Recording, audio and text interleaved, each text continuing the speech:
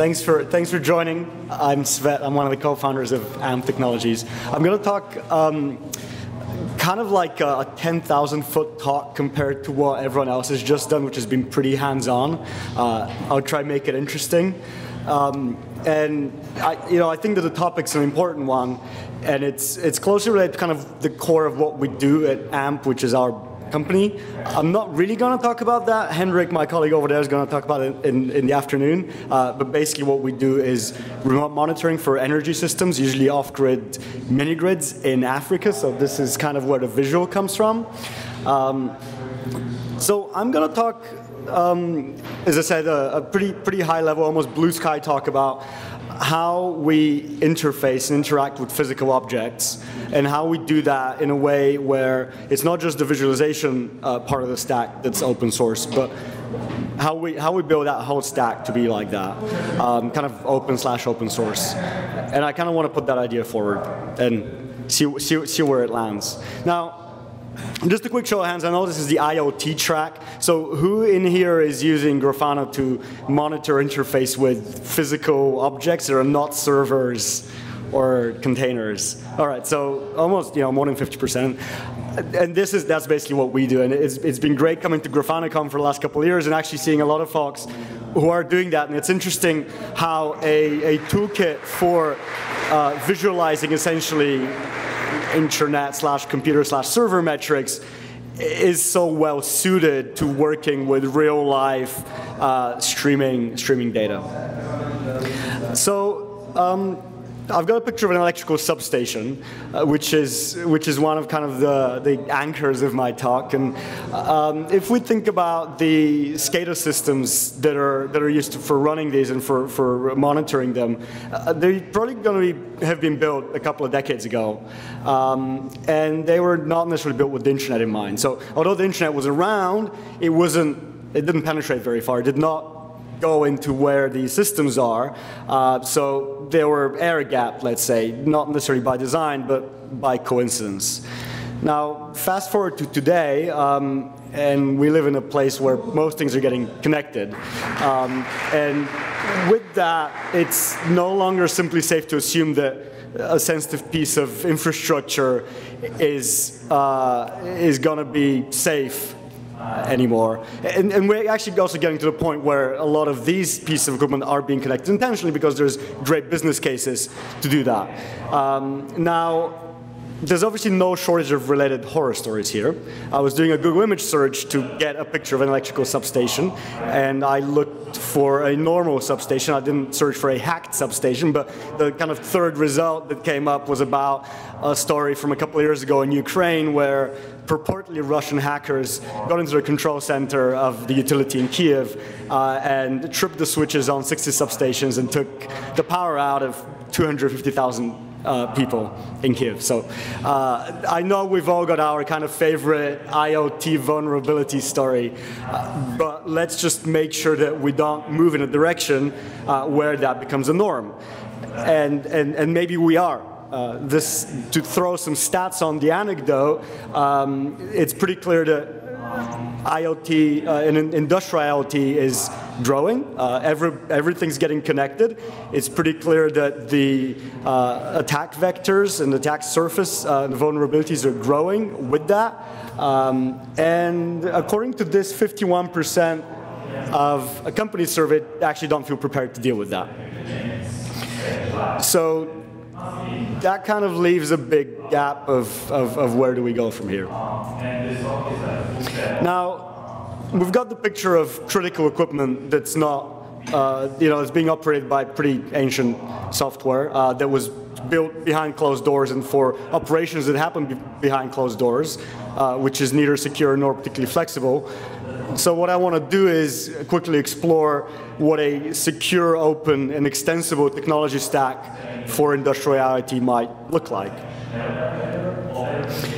And again, just to kind of set the scene with some trends, uh, we do have more devices coming online, which is challenging, uh, but they also nowadays have a lot more processing power than they once did, and there's a lot more bandwidth than we once had. So with that in mind, um, we can be a little less um, uh, kind of frugal with the resources that we use for this communication. So why don't we uh, embrace the internet and the standards and the protocols and best practices on which it's been successfully built over the past decades, and why don't we uh, um, kind of adapt those to, to, the, to the world of industrial devices? And, and, part of that really is assuming that everything that you work with is online and that you don't have air gaps and that you know maybe someone's going to break into your VPN and how do you you know how do you encapsulate those things in the right way? Now.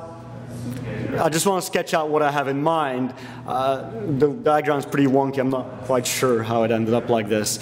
Um, but kind of from left to, to upper right and then down. Let's say you've got, you've got a real world system that you want to talk to. And these systems are going to be talking some industrial protocol, be it uh, you know, Modbus or RS485 or you know, maybe they've got PLCs. Uh, but then pretty quickly you, you're probably going to put uh, some sort of edge, edge gateway device there. And from there on, uh, let's say you're on the wide open internet and you follow the best practices there. You're going to have an MQTT or HTTP API, obviously with SSL on it, that you're going to use to connect that gateway to some endpoint. I've said cloud endpoint, it obviously doesn't need to be in the cloud. Um, and then you're going to have some data store. I've said time series here because you will probably want a time series data store for your metrics, but you obviously have something else for managing devices as well. Uh, that endpoint is going to be working with those data stores to, to provision uh, the edge devices. And then from there, you're going to probably want to do some analytics uh, and some visualization on all of that. Uh, now, if you're going to put something like this together, uh, I'd say it obviously makes sense to go to open source building blocks just the way that the rest of the plumbing on the internet has been built up out of systems like that with open interfaces and fully interoperable components. Now, besides that, over the past few years, we've also seen a trend with open source adoption in enterprise being embraced much better than before. It's no longer something that's kind of scary and comes without any support and, uh, and with lots of blind spots. It's actually a way for large companies to de-risk their vendor dependencies and to ensure continuity of their operations if something goes wrong with, with a particular vendor. So open source is, is now a much bigger component of what's, of what's being used out there. In line with that, mature open source projects actually have a pretty pretty high level of auditability uh, for security requirements because basically it's all out in the open. Uh, people tend to look at the code base a lot more than they would for a closed source uh, SCADA, SCADA system. Um, and when something does come up, it tends to get fixed pretty quickly. Uh, and also, if you have a good project, you'll probably have interfaces that are well designed, well documented, and have flexibility and robustness in mind when you've done that. Now, here are some of my suggestions for what this stack looks like. You know, this is basically based on what we use. I'm sure everybody else has their favorites. Um, but just to mention a couple of these, I mean, obviously we've got Grafana, and I think that Grafana really stands out in terms of its best practices for extensibility, interoperability. You know, you can do everything via an API. Um, and the way that Grafana, the ethos that Grafana takes with approaching the ecosystem uh, is, is what I feel ought to be replicated across this chain. Um, now, just a couple others that I'd like to call out. Um, and some of these you've probably heard of, or, um, some others may be less familiar, but uh, LoudML, for example, uh, which I've put next to Kapacitor for analytics, is, a, is, an, is an engine for doing machine learning on time series data uh, with a particular focus on anomaly detection. Now, that's obviously something that you know, everybody's interested in at the moment. You've got all this data streaming in and you want to make sure that you're making sense of it. And we're getting tools like that that are fully open source that just literally plug into uh, everything else that's going on here and, and can get you these great insights uh, kind of off, you know, off the shelf, literally. Another one that I've got on here is, uh, is EdgeX Foundry, which is a project run by the Linux Foundation, uh, which, is, which is quite ambitious. And it's only really kind of come together over the last couple of years. And the level of maturity is maybe still not where uh, you know, a lot of a lot of very serious enterprises are rolling out at scale. Uh, but they're doing some really fantastic work, turning into a, a fully interoperable kind of cross-vendor platform for edge and fog computing. And the ethos here basically is API first. Everything interconnects with everything else via very well documented interfaces, and you can plug and play different, uh, different objects, different services, uh, different microservices in this case, that get you the functionality that you need, that allow you to interface with your actual physical objects, uh, pull up that data, do some, some edge analysis, and then push it up to your, to your cloud or other infrastructure. Uh, one of the interesting things here is um, is that they're even looking at having an implementation for this that runs on PLCs, so they can uh, get data directly from PLCs and push it up to the cloud rather than actually needing these uh, edge devices. So what what's interesting to, to envision then is a picture where you don't actually have the edge device, uh, which, which is kind of where your secure internet environment starts. Uh, you don't have the edge device being a separate thing, but it's actually as close as possible to the actual physical object. The control of that physical object is being worked with. Now, so you know, wh where, where do we go from here? Um, generally, looking at these, the, the ecosystem shaping up gives me a lot of uh, a lot of hope that things are going to move in a direction where we have a more open, more interoperable uh, kind of value chain of different components that work together for, um, for this. And although the barriers to adopting a model like this by the industry are pretty steep, uh, largely because of the fact that most of these companies are pretty conservative, there are some fundamental driving factors that I think will prevail. Um, so, for example, we know that there's been reasonably slow adoption of things like open source cloud, serverless even, by you know companies like utilities. But the business cases for all of these are pretty, you know, pretty firm uh, and, and are prevailing slowly. So I think the business case that I'm kind of putting forward here for uh, adopting a stack like this will also prevail in the longer term. Um, then, of course, on the practical level, we've still got some of the challenges with actually implementing all the functionality uh, that, that we'd like to have here. And for example, while Grafana is, uh, well, while a lot of the stack is great for pulling metrics out of a system, processing them, and visualizing them, there's not really been an established industry standard for uh, doing kind of end-to-end -end configuration and control of these remote devices. Uh, and as a, as a front end, of course, again, Grafana is focused on this one-way data flow.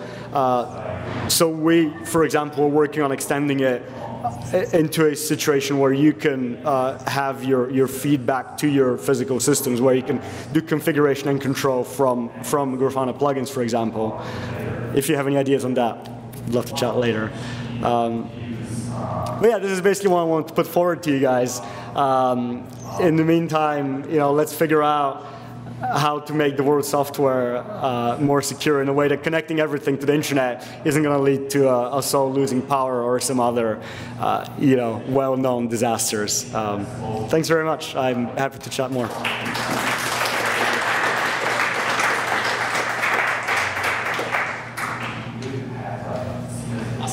Thanks. Yeah. Uh, thank you. Um, anybody have any questions? They'd like to ask? It was just so clear. let's uh, yeah, let's chat over lunch. It'll be good. Uh, just one question. You, you, said that some gaps still exist, especially in the two-way control yeah. area. Are, are you are you developing some, some stuff to work yeah, I'll, I'll, repeat it. Yeah, the, the question was uh, I, I, mentioned there's gaps in terms of doing two-way control and, and, and whether or what we're doing to, to address those. Um, we're basically, I mean, our ethos at, at our company is to uh, find the right usually, usually open source components that can talk to each other and do that. So we are actively exploring different options there. Um, but it's, it's not even necessarily about the components, more about the architecture of once you've got the data that came one way, how do, how do you get the right commands to go the other way? And there's even things like, if you think of the logic, you know, is what logic goes in your cloud versus on the edge. And, and, and there, I think we need to figure out on a conceptual level almost how you standardize that. Because, uh, I mean, there's packages for doing logic you know, there are plenty, right? Uh, but it's about how you actually put the right things in the right place and make them talk to each other in the right ways. Um, yeah, I, I, don't, I don't have the silver bullet yet, but we're definitely trying to, trying to get there. All right.